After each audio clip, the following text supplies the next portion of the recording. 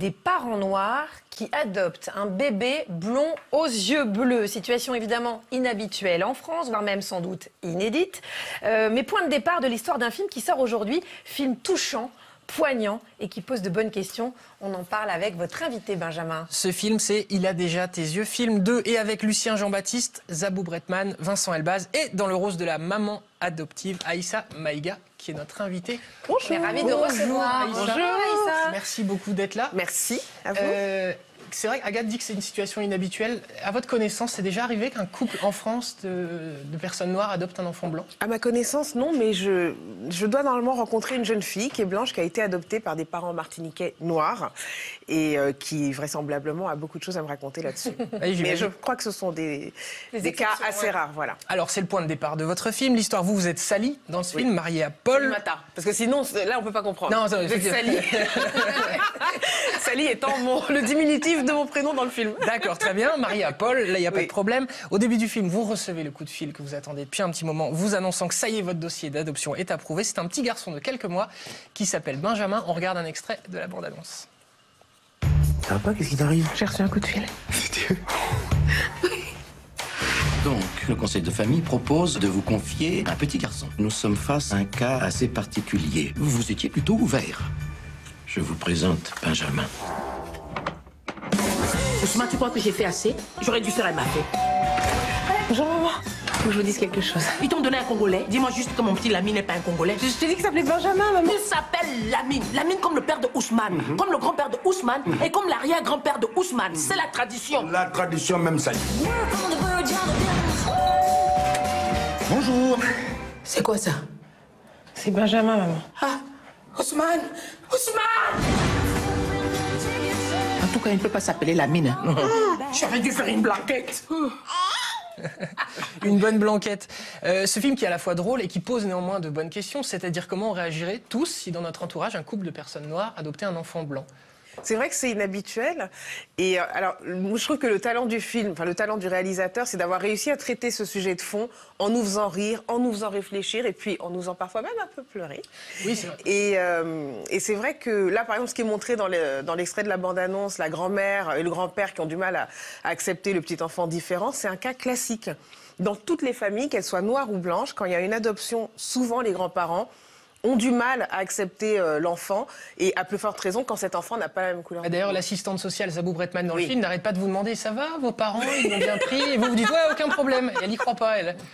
Oui, c'est vrai que mon personnage au début du film est un petit peu immature. Elle, elle recule le mmh. moment où elle va présenter l'enfant euh, à ses parents parce qu'elle connaît ses parents. Elle sait que ça va mal se passer. Zabou Bretman qui dit à un moment on est là pour aider ses enfants, pas pour faire des expérimentations. Est-ce que vous pensez qu'aujourd'hui ce serait vécu comme une expérimentation? Ah, pour moi, non. Moi, je, suis vraiment en plein dans, le, dans ce début du 21e siècle, dans l'idée qu'aujourd'hui, l'identité, c'est quelque chose qui se définit de façon extrêmement libre. Et personnellement, non, je ne crois pas que je serais choquée, mais bon, ça ne m'est pas arrivé.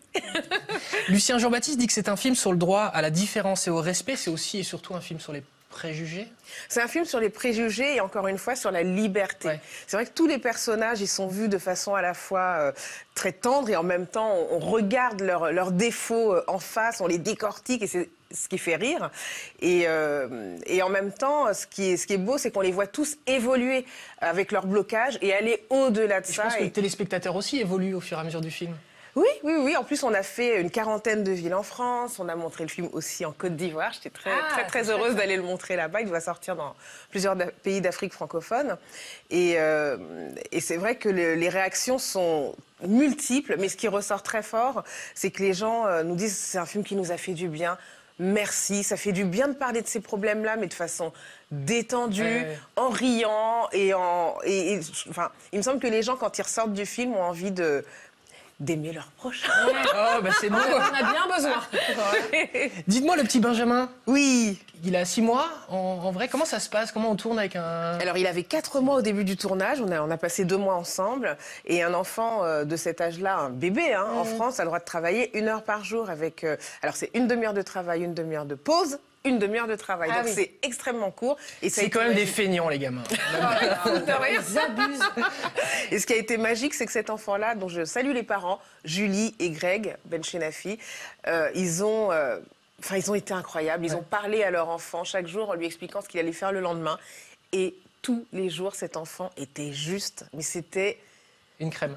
ah, c'était- C'était un miracle permanent, c'était magique. Aïssa, on m'a dit que vous aviez un don avec les bébés. Ah ouais, il nous intéresse vraiment celui-là. ça nous a- Je pense même Ah qu'on ouais. pourrait vous proposer d'être chroniqueuse ici. Apparemment, on vous met dans les bras un bébé qui pleure Oui. et il pleure plus. Mais en fait, c'est, je sais pas, bon, moi j'adore les enfants, Euh, mais depuis toujours. Hein, euh, quand j'étais petite, j'adorais les bébés. Et souvent, dans ma famille, quand il y avait un enfant un peu agité, on me le donnait, puis il se calmait. Oui, donc en fait, vous n'avez pas de technique, c'est juste, c'est comme ça. C'est un don. Bon, ouais, bah, j'ai pas ce don-là, moi, c'est marrant. euh. Moi, c'est l'inverse.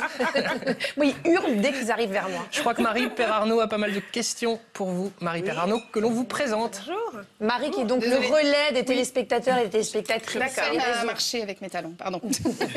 On la déguise un peu en, en- Oui. en diva. elle. Oui, d'habitude je suis en jogging et en tongs. On a une question de Camille. Est-ce que votre fils aîné regarde vos films? Est-ce que vous conseilleriez justement aux parents qui nous regardent d'aller le voir avec un enfant à partir de quel âge du coup? Alors, les enfants, les plus jeunes qu'on a eu dans les salles avaient 6 ans, je pense. Euh, mon fils, pendant un moment, me disait Non, maman, je vais pas aller voir tes films, tu passes ton temps à me dire de faire mes devoirs, je vais pas pouvoir rentrer dans l'histoire. Mais il a vu le film, mes deux fils ont vu le film, et euh, mon beau-fils, ma belle-fille, j'ai oublié personne, ont vu le film aussi, et, euh, et ils ont tous adoré. Enfin, vraiment, je pense que les, on peut y aller en famille de façon. Oui, oui, complètement, parce qu'il y a plusieurs niveaux de compréhension, il y a plein de comiques de situation. Et On a Marianne qui réagit euh, par SMS. Elle dit Merci beaucoup de dénoncer les préjugés dont nous pouvons souffrir.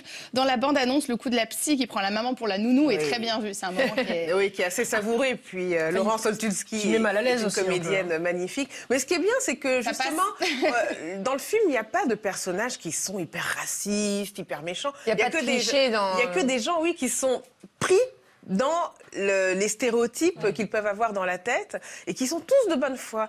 Et, euh, et ce personnage-là, il est savoureux parce qu'elle est, chez- elle est dans son cabinet, tout va bien, et d'un seul coup, on la voit perdre pied, c'est hyper drôle. c'est vrai que mon personnage est confronté comme ça. Être la maman d'un petit enfant blanc aujourd'hui, c'est évidemment quelque chose qui tombe pas, pas sous le sens. Julie nous Être demande. la maman noire oui, d'un oui, petit enfant blanc. oui, oui, oui. Faire attention parce que c'est elle qui prend les trucs. Attention, je vais me faire. euh, Attends, qu'est-ce qu'elle a dit Julie demande si vous avez utilisé votre quotidien de maman dans ce rôle. Est-ce que ça vous a servi Oui, ça m'a servi parce qu'évidemment, savoir euh, changer un bébé, savoir lui donner le biberon, même si dans le film, il fallait que je sois un petit peu gauche, ça me, permettrait, ça me permettait d'être un petit peu sécure. Et puis encore une fois, ce bébé, Benjamin, il a- enfin Marius, il a été euh, vraiment... Enfin, dès le deuxième jour, il, il me reconnaissait, il frétillait en me voyant. Enfin, C'est je- votre don, c'est votre don. fondais. Non, mais c'était c'était trop facile. Il est très beau. Euh, euh, comment est-ce que vous arrivez à concilier, nous demande pas tout, votre vie d'actrice et de votre vie de maman? Alors ça, c'est un truc incroyable. Il y a des milliards de femmes qui le font sur Terre. C'est fou, hein Et j'en fais partie, et donc je m'organise. Et, et c'est vrai que parfois, bon, la, la spécificité de mon métier, mais il y a d'autres métiers comme ça, c'est que parfois, il y a une concentration d'événements au même moment, mais bon, je, je suis très entourée. Et... Et ça se passe bien. Merci beaucoup, Aïssa Maïga. Il a déjà tes yeux, ça sort aujourd'hui au cinéma. Je vous recommande vraiment d'aller le voir, notamment pour voir Vincent Elbaz dont on n'a pas Oui, parlé, qui est qui est hallucinant on a un casting formidable, et Vincent Elbaz avec son slip vert, je crois Ouais, que Vincent Elbaz en De irrésistible. toute façon, il a une puissance comique, Vincent Elbaz. mais Et on le redécouvre dans ce film. Merci mille fois, vous êtes Merci solaire.